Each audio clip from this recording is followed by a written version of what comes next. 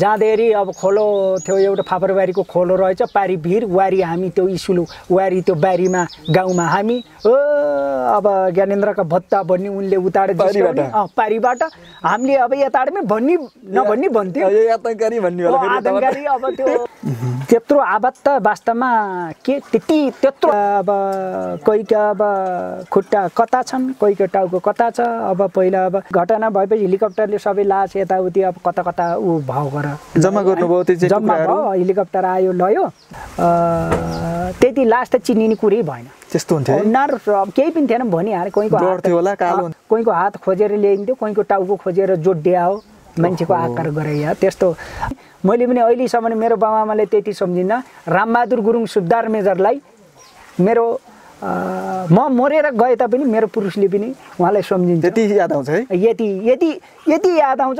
याद मात्र सायद मेरा हाम्रा ब्याजेले त्यहाँ सँगै बस्नेले रामबहादुर गुरुङलाई नसम्झिने कोही छैन होला। यो हो सुनौलो। टेलिभिजन तपाईँलाई स्वागत छ हाम्रो यो सुनौलो टेलिभिजनमा। Thank you. आराम हुनुहुन्छ? आरामै छ। सर्वप्रथम हाम्रो यो कार्यक्रमलाई तपाईँको परिचयबाट सुरुवात गरौँ। यहाँको शुभ नाम? मेरो शुभ नाम घनबहादुर जीसी। हजुर यहाँ चाहिँ कहाँ बस्दै आउनुभएको छ अहिले? झिमरुक सात। झिमरुक साथ प्युठान प्युठान। जिल्लाको तुसारा गाउँ चाहिँ तुसार पऱ्यो है। तुषा यहाँ चाहिँ एकदमै लामो समय अवधिसम्म रहेर सशस्त्र प्रहरी बलमा रहेर क्रियाशील हुनुभयो। एकदमै त्यति बेला माओवादी द्वन्द्वको अवस्था थियो एकदमै द्वन्द्व चर्किरहेको अवस्था थियो। त्यति बेला चाहिँ यहाँले ती समयहरूलाई गुजारेर अहिले चाहिँ पेन्सन निस्कनु भएको छ। कति सालमा यहाँ चाहिँ भर्ना हुनुभएको थियो? म भराना भएको सन्ताउन्न एक एक हो। हजुर सन्ताउन्न वैशाखको एक गते। एक गते भराना भएको। त्यसमा बल्ल सुरुवात भएको थियो।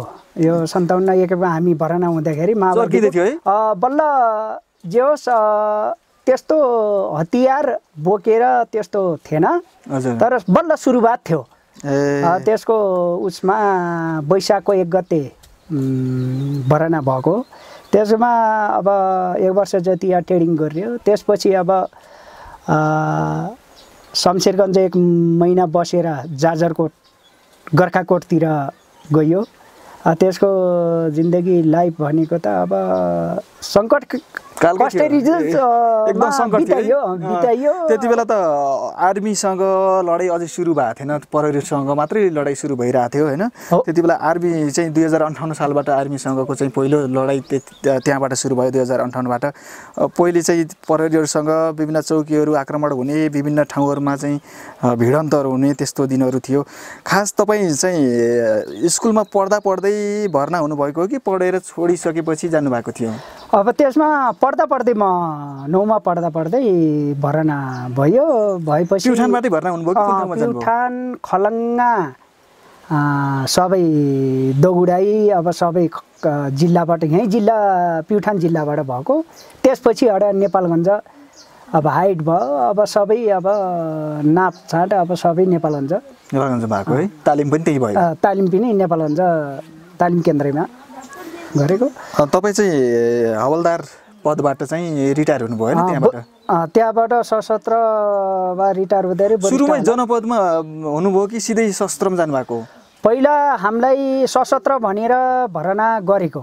ए पहिला भनेपछि मलाई त्यति यकिङ भएन। सन्ताउन्न अन्ठाउन्न सालमा वीरेन्द्रले लालमोर सशस्त्र भनेर अन्ठाउन्न सालमा होला।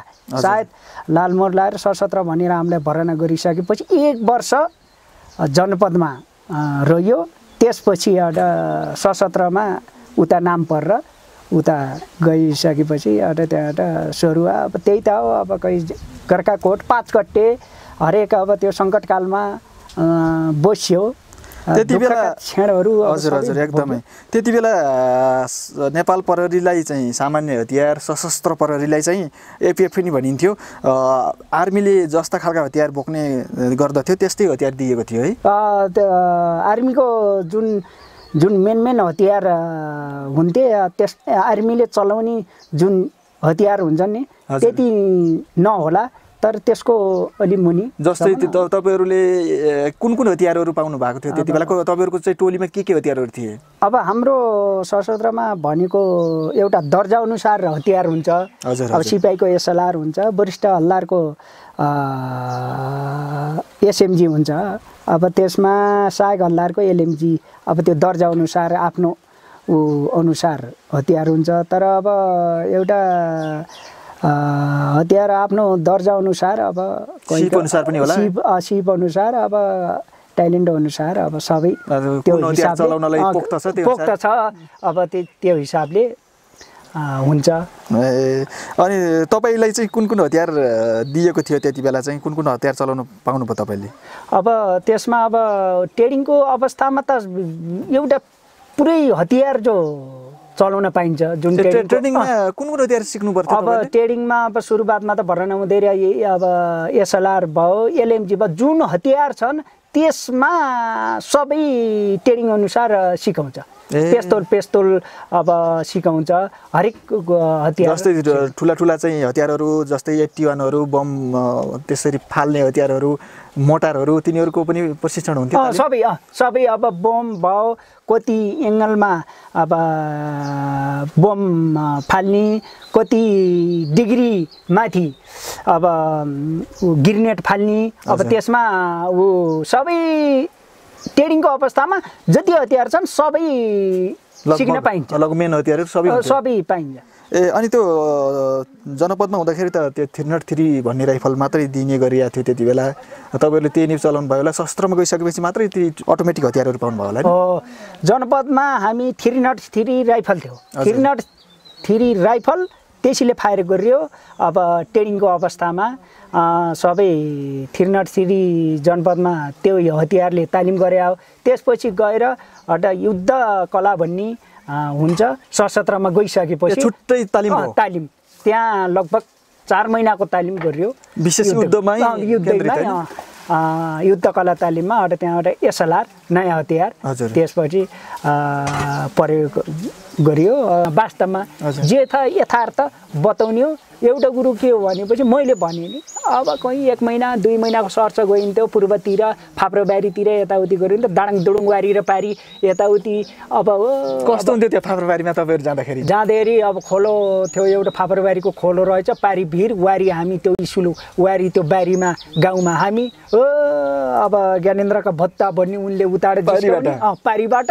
हामीले अब यताबाट भन्ने नभन्ने भन्थ्यो। ए, आतङ्ककारी भन्ने अब त्यो उताको भिरको उसले गर्दाखेरि सुनिन्थ्यो कर हजुर तपाईँहरूको भाषा उता जान्न थियो अब उताबाट उनले सुने कि के गर्यो सुनेर त्यो फर्काउँदा पनि जवाब। अब यस्तो भनसुन मात्र हुन्थ्यो अब भेट हुने र अब कहीँ एलएमजीले पनि भेट्दान्थ्यो कहीँ हतियारले पनि भेट्दान्थ्यो हामी। त्यति टाढा, होइन? त्यति टाढा वारी र पारी हुन्थ्यो? हुन्थ्यो उही भनाभन मात्र उही भनाभन उही मुखले सिँही फेर्ने। उनले पनि मुखले सिँही फेर्ने गाली गरेर हामीले पनि मुखले गाली गरेर सिँही फेर्ने। गालीको लडाइँ। अँ गाडीको लडाइँ। अब हतियारले पनि केही नहुने। हान्न त हतियार पनि हान्नुहुन्थ्यो होला होइन। हान हान त हुन्थ्यो होला। हाना हाना अब नजिक नजिक भयो त अब हुन्थ्यो होला गरेर। अब त्यो गोली मात्र खर्च गर्ने उनले पनि हामीले हाने पनि गोली मात्र खर्च हुने। त्यति टाढा थियो कि? ए त्यस्तो हुन्थ्यो दूरी धेरै टाढा थियो। यहाँले चाहिँ पहिले पनि एउटा घटना भन्नुभएको थियो एउटा चाहिँ एम्बुसमा तपाईँहरूको साथी त्यसरी परेको अब त्यो कस्तो त्यसमा- भएको त्यो घटना के भएको अब वास्तवमा के भनेपछि म बर्दिवास हुँदाखेरि छिन्नमस्ता गणमा हुँदाखेरि अब त्यो एकजना त्यो तेह्रजना मध्येमा त्यही दुईजना मात्र बाँच्नुभएको अरू त अब मृत्यु मृत्यु भयो। कसरी भयो त्यस्तो? वास्तवमा कसरी भन्दाखेरि एउटा अब उठेर त अब तलब लिन जाएँ अब सदरमुकाम त जलेश्वर हो गर ए हजुर अब त्यहाँको अब जनकपुरको होइन। सदरमुकाम जलेश्वर त्यही तलब लिन जानुपर्ने होइन। तलब लिन जाँदाखेरि अब त्यही नु अब अब उतिर सङ्कटकालमा त एक्लै एक दुईवटा जाना गाडीमा जाने कुरो त आउन्थ्यो हजुर। एक सेक्सन। होइन टोली लगेर गाडीमा तलब लिन जानु पर्ने हुन्थ्यो धेरै सुरक्षा चाहियो। धेरै सुरक्षा चाहियो। त्यसमा अब जानीमा अब एउटा मैले कहिले पनि भुल्दैन वास्तवमा फौजमा पनि कोही हाकिम कस्तो कोही हाकिम कस्तो हुन्छ। तर वास्तवमा हुन्छ, हुन्छ। त्यसमा के भन्दाखेरि पहिला अब तलब लिन जानको लागि अब एउटा जनकपुरको सदरमुकाम त जलेश्वर हो। अब त्यसमा तलब लिन जान पर्ने भयो। परिसकेपछि हामी म पनि खोटिया थिएँ सामेल भइयो त्यो ठाउँमा तपाईँ पनि जाने कुरा थियो? अँ जाने कुरा थियो त्यो सामेल कतिजनाको टोली जाने कुरा थियो त्यति तेह्रजनाको। ए तेह्रजना तेह्रजना तपाईँ पनि कमान्ड- थियो? इन्सपेक्टर साहबको कमान्डमा इन्सपेक्टर सहित तेह्रजना चाहिँ जाने कुरा 13 थियो। जना, अब त्यसमा- चाहिँ सिपाही हवलदार सबै गरेर। सबै गरेर इन्सपेक्टर साहबको कमान्डमा नरबहादुर तामाङ भन्ने इन्सपेक्टर साहब हुनुहुन्थ्यो। एकाउन्टेन्ट साहब पनि जानुभएको थियो। ड्राइभर ड्राइभरै भए होइन? ड्राइभर पनि तपाईँहरूकै फोर्सको होला। फोर्सको ड्राइभर हाम्रै फोर्सको नरबहादुर तामाङ इन्सपेक्टर साहब अब हामी अब सबै इन्सपेक्टर साहबको कमान्डमा जाने भनेर राम्रो उसमा अब तलब लिन जाने है भनेर खाना खाइयो यता। तलब त्यति धेरैको तलब त धेरै हुन्थ्यो होला। धेरै हुन्थ्यो अब गाडीमा गई जानी भयो खाना खाइयो अरू सामेल भयो सामेल हुँदाखेरि अब त्यसमा कसरी भनेपछि तलब लिन जाँदाखेरि अब हल्लार मेजर सोमबहादुर गुरुङ थियो। अहिले उहाँ मर्नुभयो होइन? त्यहीँ कि अर्को ठाउँमा? अर्को ठाउँमा यहाँ यो के तालिम केन्द्र के? यो कोलपुर। कोलपुरको। यो नौ बस्ता। हजुर। तालिम केन्द्रमा सोर्रा हुनुभएको थियो। त्यसमा मोटरसाइकल स्ट्यान्ड परेर हो कि के गरेर भने आफै दुर्घटनामा? आफै दुर्घटनामा हो। त्यो अब हल्दार मेजर अब सोमबहादुर गुरुङ हल्दार मेजर सुबेदार मेजर रामबहादुर गुरुङ। हजुर हजुर। अब त्यस्तो गुरुङ पनि हुने हुने हुन्छ आँखामा हालेर पनि त्यति राम्रो लाग्यो? त्यति के अब मैले मात्र नै सबैले एउटा। के भनेपछि सिपाही पनि सिपाही जो हो मान्छे होइन। मान्छे जो हो आमा बाउले जन्माएकै छोरो हो होइन। त्यो मान्छे भएर त जाहिर खाओ नि होइन। जे भए पनि यो पनि मान्छे हो सिपाही भए तापनि त यसको ज्ञान पनि त छ भन्ने सम्मान गर्ने। सम्मान त्यति सम्मान त्यति माया गर्ने अब अहिले पनि म सम्झिन्छु रामबहादुर गुरुङलाई होइन सुबेदार मेजर रामबहादुर गुरुङ हुनुहुन्थ्यो अन्त उहाँले अब सामेल गर्नु हो टोली गराउँदाखेरि अब म अलिकति अब भलिबलमा अलिकति खेल्ने अब कलाकार जस्तो पनि तपाईँ- कलाकार जस्तो त अब हल्का फुल्का गाइन्थ्यो। गाइन्थ्यो अब सु- हल्दार मेजर सुधार मेजरले अब बेलुका फर्किन्छ भनेर चार बजे रोज भलिबल खेलिन्थ्यो। यो ढिला गर्छ भन्ने हिसाबले अब कसरी हो त अब यो बत्न लेखेको त्यस्तो हुन्छ कि। अब वास्तवमा त्यति गरेपछि साम ल्याउँदाखेरि ल जिसी फाइल आउट हो अब जिसीको उसमा अब किन भन्दाखेरि घुम्न फिर्न जाँदा जाने भनेको कोही अब टेलिफोनको केटाहरू पनि हुन्थ्यो कि टेलिफोन चलाउने। म पनि जान्छु सर एकछिन घुमेर आउँछु भनेर टेलिफोनको त्यो साथीहरू।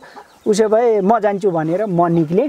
रामबहादुर गुरुङ सुबदार मेजरले निकाल्नु एउटा। मेरो सट्टामा म जान्छु घुम्न भनेर टेलिफोनको जुन काम गर्ने यताउति। सञ्चारको साथी होइन? त्यही टेलिफोन जुन पहिला त अब उयो के तार के मेन लाइनको टेलिफोन हुन्छ नि। हजुर, हजुर। त्यसको पनि ड्युटी हुन्थ्यो। म घुम्न जान्छु एकछिन। भन्ने हिसाबले त्यो गएपछि म निक्लेँ। हजुर। निक्लिसकेपछि त्यसको पन्ध्र बिस मिनटमा बुर्दिवास बजार। अब हुन त दुईवटा बाटो एउटा ज- जनकपुरबाट पनि जान्छ कर हजुर। जलेश्वर। एउटा बर्दिवासको चोकबाट पनि यसो सर्टकट त्यो के गाउँ भन्छ त्यति मलाई भएन। त्यो सर्टकट हान्नलाई त्यताबाट गाडी गयो। जाँदाखेरि अब त्यो पिचको मुनि कैला बम फिट गरेको? ए पिचको मुनि पो बम थियो। पिच थियो नि बाटो त। पुरै पिच बाटो त्यसको उँधो अब त्यही त हो नि होइन। अब गाडी अब सर्टकटमा अब स्पिडमा गएको यताउति गएको रहेछ। त्यही नजिकै हो नि। त्यत्रो आवाज त वास्तवमा के त्यति त्यत्रो आवाज सुन्नुभयो आवाज? आवाज त्यो सुनेपछि लो गाडी नजिकै हो? नजिकै हो। गाडी एम्बुसमा पार्यो क्या भनेर अब सामेलले यताउति अब स्ट्यान्ड डुलायो। अब सबै सामेल भेला भयो टडक आयो त्यसपछि एउटा ठुलै आवाज आयो। अँ ठुली त्यही त्यति आवाज आइसकेपछि अब त्यहाँबाट टोली सामेल भएर अब वास्तवमा फिक्स भयो अब सशस्त्रको गाडी एम्बुसमा पऱ्यो अरे भन्ने थाहा पाएपछि हाम्रो टोली दारमा जस्तो हालतमा छ उस्तै क्विक फास्ट गइसकेपछि अब गाडी अब त्यो गाडी हो कि होइन भन्ने जस्तो पो थियो। त्यो गाडीको नाम निशानै पो थिएन। होइन? चाका उयो के? डल्लो के? डल्लो। पऱ्यो। खाल्डो हेरेर दुई मान्छे पो थियो। त्यति गहिरो खाल्डो त्यति गहिरो खाल्डो थियो। गाडी? अब त्यसमा अब गाडी कस्तो खालको गाडी थियो त्यो? गाडी अलि त्यो त्यो के कम् टाटा कम्पनीको हो। त्यो के भनेपछि त्यो वरिपरि जस्तो? पिकअप भन्नाले लाभे त्यो साइडमा जाली लगाएको उतिर परेरी बिहान जस्तै। अब परेरी भ्यान जस्तै बिचबिचमा जाली लगाएको त्यतिखेर त्यस्तो गाडी थियो कि। त्यो पेट्रोलिङ जाने बेलामा पेट्रोलिङ जाने हल्का गाडी। त्यही गाडीमा। त्यो टोली अन्त त्यहाँबाट पड्किसकेपछि अब अब सबै स्ट्यान्ड लगाएपछि हामी गयौँ। गइसकेपछि त अब कोहीका अब खुट्टा कता छन् कोहीको टाउको कता छ? अब पहिला अब एक दुई फाएर अब यता दायाँ बायाँ हेर्दा छैन केही कोही पनि छैन। अन्त त्यो तार यताउति पल्टाउँदै यताउति हेर्दै हेर्दा अब त्यो कहाँ हो कहाँ हो त्यो तार त्यति लामो तार है? अँ, त्यति लामो तार गएर कहाँबाट अब कुन उसमा बसेर अब यो गाडी आउँछ र बल्ल पड्काउँछ भनेर तारको अनुसारले लगेको त्यहाँ उसबाट ऊबाट हेर्थ्यो होला त्यो चाहिँ बाइनाकुलर दूरबिनबाट। दूरबीनबाट अब कसरी हेऱ्यो त त्यति टाढा। टाढाबाट हेर्दाखेरि टाढै लामै दूरीबाट हेर्ने चिज होला होइन लाभे दूरीबाट हेर्ने चिज अब उनको वास्तवमा त्यत्तिकै लडाकु हुन्न वास्तवमा उनको पनि केही अब ऊ भइरहेछ त्यो चाहिँ ज्ञान सिप हुँदो रहेछ ज्ञान सिप अब साहस पनि चाहियो साहस पनि चाहियो अलिकति हिम्मत पनि चाहियो। अलिकति डर मान्ने मान्छे अब वास्तवमा त्यही त हो कि हिम्मत हो कि। हिम्मतै। अब किन भन्दाखेरि ए हतियार राम्रो छ फौजको मानम। केही माओवादीको पहिलेको कुरा गरौँ? अहिले त नै पहिलाको। अब हतियार राम्रो भएर हुन्छ र अलि दम र मुटु अलि साहस बलियो अब हिम्मत त अलिकति साहस चाहियो के? लड्ने क्षमता चाहियो त्यति बेला त लौरा तिन चिज भरुवा बन्दुक त्यस्तैबाट अब। हतियार राम्रो छ यहाँ मुटु चाहिँ छैन ढपढप उही छोडेर भाग्ने हो भने त। त्यो हतियार राम्रो भएको के काम त। साहस चाहियो सबभन्दा जो सास मुटु अलिकति ऊ चाहियो कि? खोबी चाहियो। त्यसमा त्यति गरेपछि जान्छ जान्छौँ भन्दा त कोहीको अब लास यता छ कोहीको अब कोही त अब बोटुलीमा हामी सबै भएको है? कोही अब गाडीको टायरहरू केही देखिन के- थियो गाडी भनि त हाले टायर सायर त अब त्यो खुन्नी कुरी भएन कहाँ हो कहाँ हो गाडी त नाम निशानै थिएन के? ओहो। त्यस्तो घटनामा पनि दुईजना एउटा सोही साहब एउटा वरिष्ठ साहब गोले भन्ने वरिष्ठ साहब नाम भुले दुईजना बाँच्नु थियो ओ त्यस्तो भएर पनि? त्यस्तो घटनामा हामी दङ उहाँ चाहिँ घाइते हुनुभएको थियो? उहाँ घाइते हुनुभएको थियो।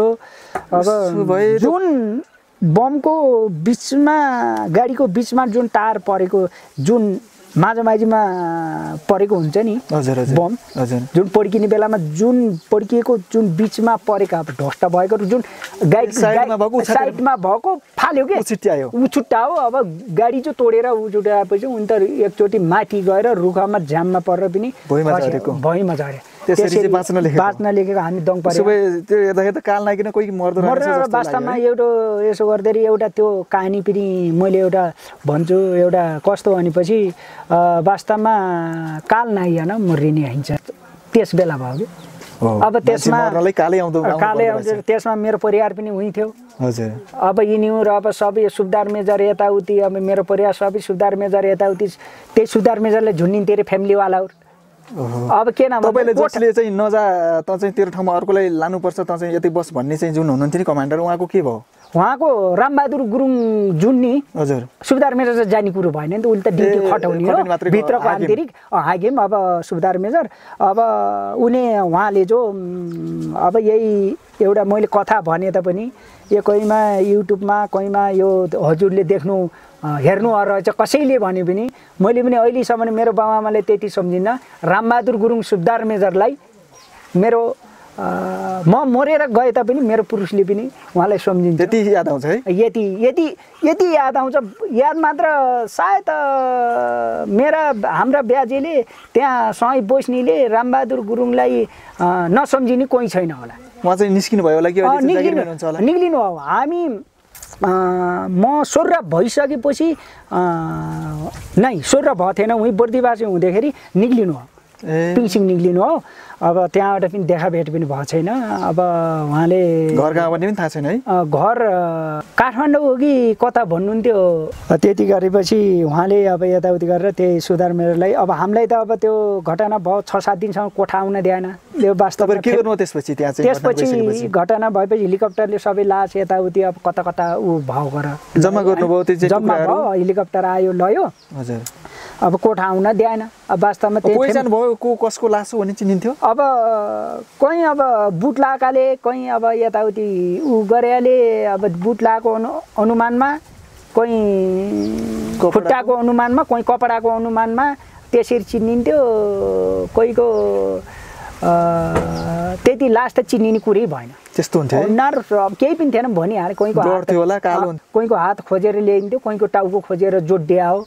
मान्छेको आकार गराइया त्यस्तो एम्बुसमा पनि पार्या परेको अवस्था है अवस्था त्यो बेलाको त्यसपछि आइसकेपछि कोठा हुन नदिए चार पाँच दिनसम्म अब सुधार मेजर त सुधार मेजर कोठा पनि थियो फ्यामिली पनि हुनुहुन्थ्यो पश्चिम गेट र पश्चिम गेट भन्ने छ छिन्नमस्तागढमा पहिला त्यही खुला त्यही अगाडि कोठा यताउति राखे राखेका थिए सुधार मेजर पनि त्यति कोठा सबै फ्यामिलीवाला तिन चारजना फ्यामिलीवाला पनि परेका थिए। त्यहाँ मोर्निङमा ए है? परिवारको अब त्यहाँ तुरुन्तै थाहा पाउँछन् भनेर हामीले पनि सब बन्द भनिदिनु भएन? भनिदिनु भएन हामीले आउनै दिएन अब यिनीहरू फ्यामिलीवाला त अब एम्बुसमा पऱ्यो भने त को हो त? भन्ने कुरो त फ्यामिलीवाला सोध्ने भयो। यिनी पनि झुन्डिन लाए अब हरेक कुरा सबै अब सुधार मेजरलाई सोध्न लाए अब भन्ने कुरो भएन। अब पछि त अब बाध्यताले अब थाहा हुने भयो। टिभीमा अब यताउति सबै नामसहित आयो होला। नामसहित सबै आइसकेपछि त अहिले त्यहाँनिर। अ, त्यस्तो ऊ भयो। वास्तवमा कहानी यिनी दुर्घटना अब तिनी अहिले सम्झिँदा कस्तो लाग्छ त्यो दिनहरू? त्यो सनिँदाखेरि त एउटा कुरो त्यस्तो अवस्थामा त एउटा काँडाले पनि कोतारेन। कसैले पनि केही पनि आफूले पनि गोरिएन कसैलाई पनि। मैले भनिहालेँ नि कसैलाई पनि एक पनि यो दुश्मन हो यताउति हान्न पनि परेन। हजुर हजुर। यो जाहिरको अवस्थामा। मलाई पनि यस्तो फलानु भनेर पनि कसैले गालामा एक एक पनि हानेन। अब बुवालाई माओवादीले पहिला अब यताउति गर्दै बुवालाई सताउने त्यो छोरालाई ढाक यसो गर उसो गर भन्ने त त्यो त चलिरहेको थियो जो गाउँमा पनि जसको ठाउँमा।